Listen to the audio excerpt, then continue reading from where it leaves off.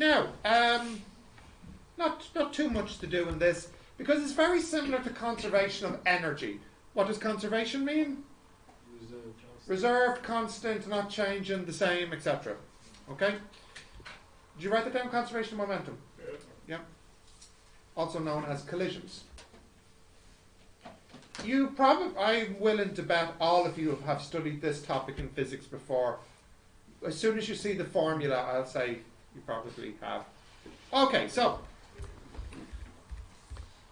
collisions is a special type of problem in physics uh, between two masses, and there's no no external force acting on the colliding system. So we are looking at problems where we have two things, and they they come together and they collide. Okay? But what's important is there's no external force, meaning as this slides along the table, there is no force pushing it, and also unrealistically, there's no friction. Now, you all know that that's unrealistic, right? Because uh, as soon as I tap it, it will slow down. Okay? But in some situations, we can ignore the friction, like in the picture here. We all know that the ball, as it rolls across the table, will eventually stop. Yeah? But for most of the journey, you can ignore the friction because it, it takes a while for the ball to slow down and stop. Mm-hmm. Yeah? And there's no force making the ball move. There was a force that started it to move, but is there a force that's keeping it moving? No. And this is the type of problem we look at in collisions. Okay? Like I said, not 100% realistic because most collisions happen because there's one thing with one force collides with another thing that has another force. They're not, they're not freely moving. Okay? So, um, what is the conservation of. Well, you could probably figure this out actually. Firstly, what is the formula for momentum? Do you remember? Mass times velocity. So, what do you think it means to say that momentum is conserved? The momentum at the beginning equals the momentum at the end. And momentum is mass times velocity. So, if you have two masses, you can say the momentum will be conserved. And as a formula, that's the following. M1U1 plus M2U2 equals M1V1 plus M2V2. What does M1U1 represent? The momentum of the first object at the beginning. M2U2? The momentum of the other object at the beginning. M1V1, the momentum of object 1 at the end, and M2V2, the momentum of object 2 at the end. And uh, you don't have to write all of this down, but you should at least write down the formula. Now, was I right or wrong? Have you seen this before in high school? Yeah. Just for just like basic knowledge. You haven't used them in calculations? We did, but like it wasn't like he didn't make it look like if it's important in our lives. He just like showed us like that. it's- Very little, very little of what we do in physics is important in your life. Very little. It's important for your university application, but for your life, not really important. You know, just like what you do in maths isn't important for your life, or chemistry, or EAP. Yeah. It's just for the title. I was just listening at home. No, I didn't say that. That is very different to what I'm saying. No, think about it. How many times, because you're a teacher, let's Yeah. say, let's say I have a job now. How many times am I going to remember potential energy cause energy? You, I'd say zero. But look, you need it to get into college, and you need college to get a job, and this is just the reality of life. Life is a scam. Ah. Ah, oh, harsh. Uh, hey, If you think about it, I know think about it. life ain't fair. Trust me, I know. I know. Why? Like I've got several masters, and I'm teaching you guys. Yeah, I, I, I know life's not actually yesterday you said Yeah. no. This is this is no. You chose this. I asked you. You said no. You I'm only. I'm on, Bello, I'm only joking. It's an uh, absolute pleasure to teach this class. I'm, I'm only joking there. Right, Expensive. Continuing. Yeah, Do you have that formula? yeah. Yeah. But just think about it. No, I no, no. I, I think about it. No, no, no, I'm fine. I'm fine. Right. Now, um, broadly speaking, there are two types of collisions. Uh, yes, that's it. What are they, Bello? Elastic and inelastic. Now, do you know the difference, though? When it's Uh, uh, when- it when goes, the heat- stays. When the heat Yeah. is a quick expansion that the comes back to state after the Yeah, Bounce back. that it has to do with whether they click together or they, they bounce. But actually, uh, that is true. Our definition is slightly different, but it has the same result. We say a collision is elastic if there's no kinetic energy lost. So if you calculate the kinetic energy at the beginning and you calculate the kinetic energy at the end and you discover that they, they're the same, then that means we say the collision is elastic. Okay? However, if you discover that you have less kinetic energy at the end than at the beginning, you say that it's inelastic. Now, where did this missing energy go? Well, probably heat. Yeah. Now, this definition is different to the definition you had in high school, so you want to write this down carefully. But when the elastic um, kinetic energy increase, No, uh, no, I don't think so. Not without uh, Bello, not without an external force, which we don't have.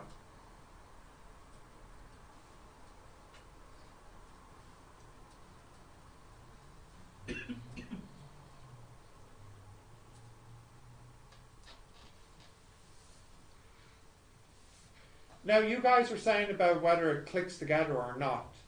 Uh, I think uh, that is true as well. But in the exam, when they ask you, is it elastic or inelastic, or they ask you to check if it's elastic or inelastic, they need you to do a kinetic energy calculation. Yeah? but in which one does it bounce? Oh, I forget now. Um, elastic, I think they bounce. I think. Elastic, And inelastic, I think, is when they click together. and just stay there. Yeah, I think so now. I think so. Yeah. Although Bello, you can have situations where they bounce and it's still inelastic if the if the if the material is not um like rubbery enough, you know. Okay, can I continue? You have that? Yeah.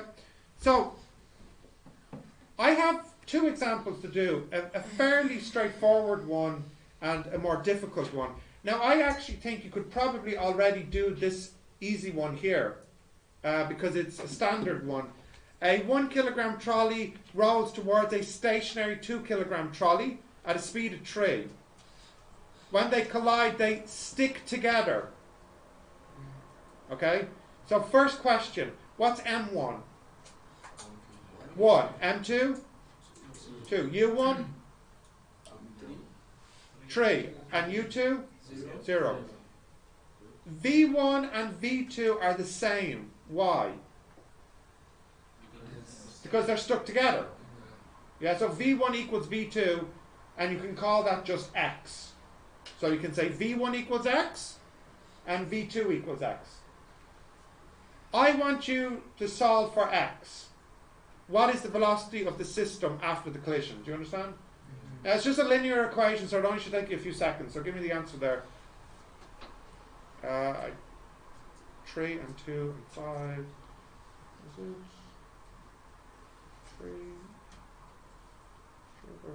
Yeah, okay, I think I have the answer.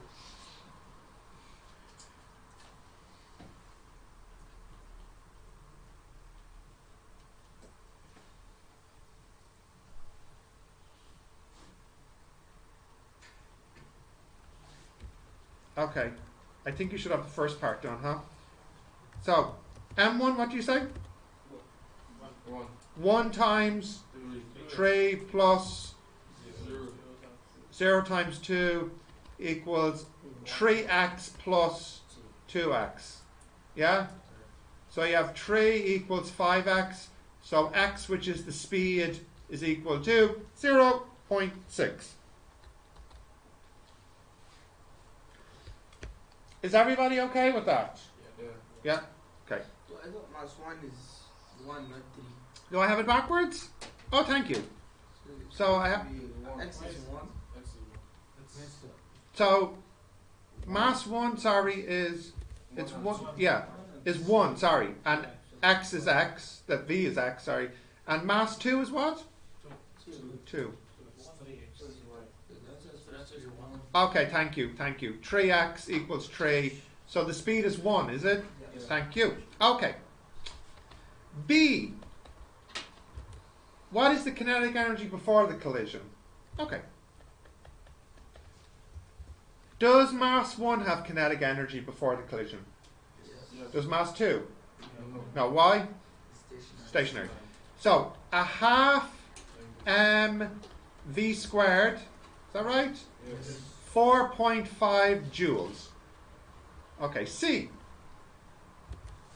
What is the kinetic energy after the collision? Does mass 1 have kinetic energy after the collision? It does. After the collision, both masses are moving. They're stuck together and they're moving. So, uh, what is the kinetic energy of the first mass after the collision? It's a half, one, oh no, one squared. And what's the kinetic energy of the second one? A half, One. Two, Two. one squared. Is that 1.5? Yeah? D. Yeah, you can. Yeah, yeah, yeah. What type of collision is this? Is it elastic or inelastic? Why? It lost. Uh, the reason is it lost how much? Uh, three joules. Three joules, isn't it? Of kinetic energy. Okay, and finally E. What was the impulse on each trolley? Okay. Do you remember the formula for impulse? Impulse? Very good. MV minus MU. So let's do it for the first trolley. What's the mass of the first trolley? One. One. And the V? 1. One. And 1 and the U? Two. No, for the first trolley it wasn't 0. Three. It was 3, wasn't it? So this is minus 2 kilogram meters per second. And let's get the impulse on the second trolley. What's the mass of the second trolley? 2, isn't it? The V and the U. Zero. And what's this equal to? Two. Now look. They cancel out. Yeah, they're equal, but what's with the sign? Opposite. Does that sound familiar? Equal but opposite? Yeah, this is basically uh, like Newton's third law. That the impulse on the first mass will equal uh, the impulse on the second mass, but just opposite in sign. Okay? So if the first trolley, as a result of the collision, experiences an impulse of minus 2, then the second trolley, as a result of the collision, will experience an impulse of plus 2. This is Newton's third law in action. Mm-hmm. Yeah? Is that okay, guys? Yeah. Now, the next example I want to do is a little bit harder. I think this example is probably similar to what you've done in high school before, perhaps. Maybe? Roughly. Okay. Can I go to the next example? Yes. Okay. A 2 kilogram mass heading right at speed 4 collides with a 2 kilogram mass heading left at speed 2. As a result of the collision, a tenth of the kinetic energy is lost. What are their speeds after the collision? Okay, so I'll do it, but just to start, I just want you to write down the info, the M1, the U1, and so on. So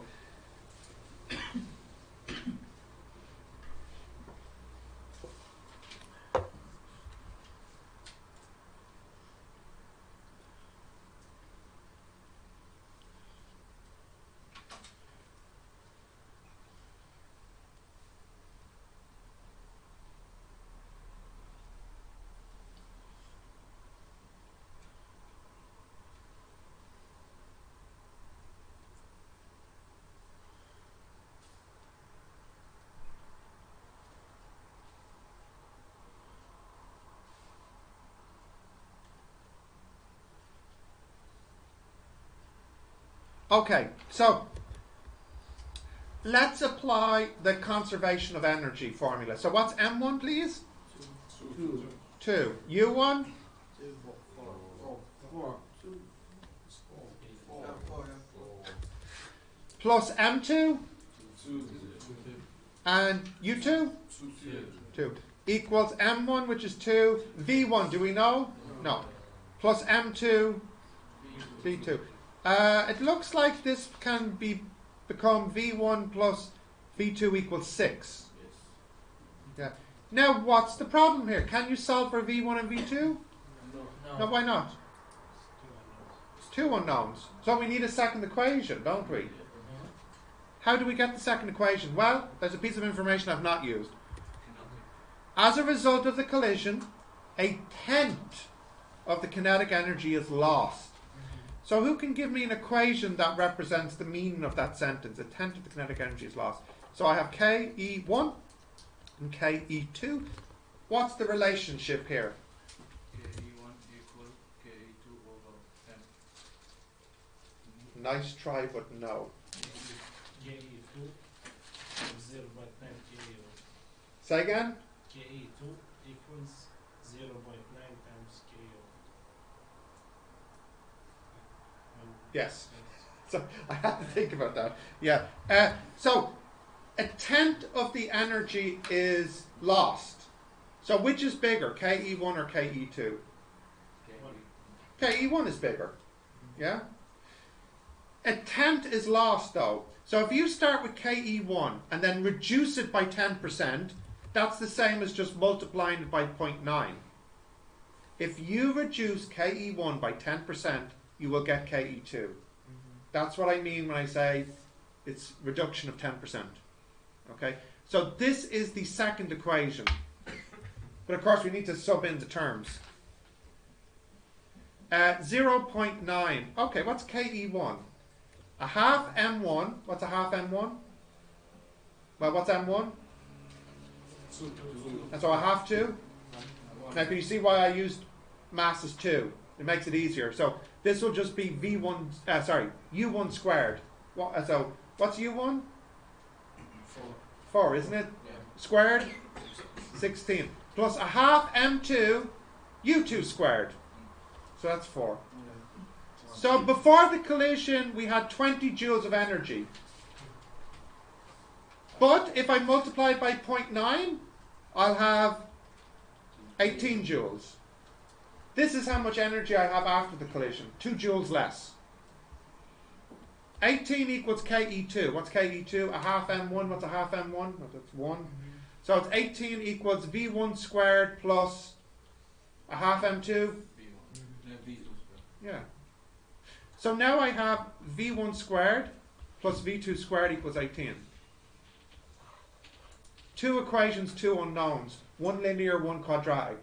Seen this in maths lately? How do we solve one linear and one quadratic? Substitution. V1 equals 6 minus V2. Sub it in. 6 minus V2 squared plus V2 squared equals 18.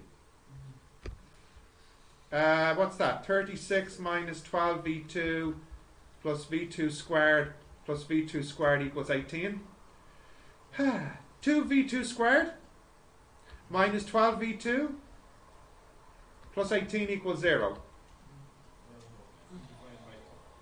Divide by 2. v2 squared minus 6v2 plus 9 equals 0. Uh, 3? Three, yeah. Three, three, Three. three. Just 3. Yeah, that's three. V2 equals 3, and what does that make V1 equal to? If I use this, it has to be 3 as well. So, yeah. Uh, are you sure? It's only 3? Yeah, because it's uh, minus 3 minus 3, isn't it? Yeah. Yeah. Yeah. Oh, yeah, we can check that it works. Look. 3 plus 3 equals 6? 3 squared plus 3 squared equal 18? I guess, so I guess the story checks out.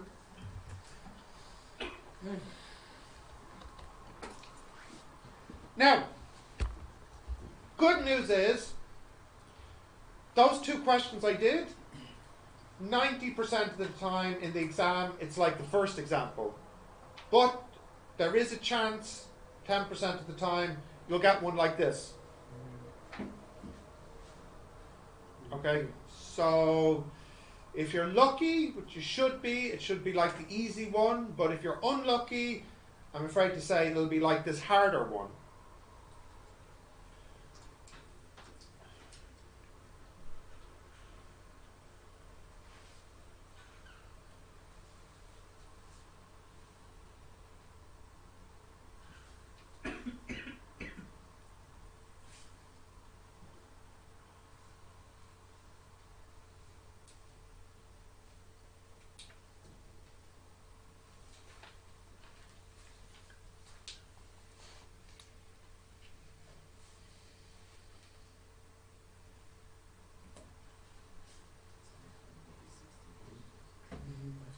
How many are there? Nice. Of course, that just tells you that they love asking this in the exam. Yeah. when is our next physics class, though? Next week. Oh, no, tomorrow, tomorrow. Next week. No, tomorrow Tomorrow. is math. Tomorrow is faster next week. So you have all of the weekend to do it. Oh. You have all of Friday, Saturday, and Sunday. That's only six questions a day. no, no need to thank me. That's okay. Uh, right, did you write that down? Yeah. Yeah. Okay. How are we doing for time here? Yeah. Okay. Uh, we'll wrap it up there. Tomorrow is a Wow. double maths, Yeah. is it? Uh, one lecture and one tutorial then. Yeah. Okay. Well, I, I think the timetable's a little bit different for tomorrow, isn't it? Yes. Yeah. That was where capture lab Yeah, in in after Yeah. So when is the maths? Before. morning, like last. The nine o'clock? No, the eleven o'clock. Yeah. In what room? Please say nice room. Video. I know it's not that, is it? It says video two. Three, three, three or two. Yeah. There's It's no in that small room with the no projector. Oh, come on. I um, I'm going to see if I can swap with a teacher to use a better room. Yeah. Our son. So why don't you like the room? Son. Hmm? Why don't you like the room? What? Because it doesn't have the proj- it doesn't have the TV. He cannot Exactly. record That's in the class. It's a- It's the one we used last time, last week Friday. And the Sunday. yeah, yeah. So uh, I'll see if I can do a room swap tomorrow. Okay? So I want to question. Yeah. Why is it that you know um, the sun you know, reaches the earth, right? Yeah. The earth is bright, Yeah. but space is dark. Mm, that's a deep question. What is it? Yeah. The light only Guy in classroom. Why you the team? you can only you can only see the light when it strikes the surface. Shit. Okay, but it's not striking any surface. Yeah. So it's dark. Yeah. It makes sense. Yeah. It's Well, the, the same that's- reason, like so the light's coming into this room right from the window. Yes. I don't see it. I only see it as soon as it strikes the surface and reflects into my eyes. You know, If it never strikes the surface, it can't reflect anywhere. you won't see it then. You won't see it. That's why we can see asteroid.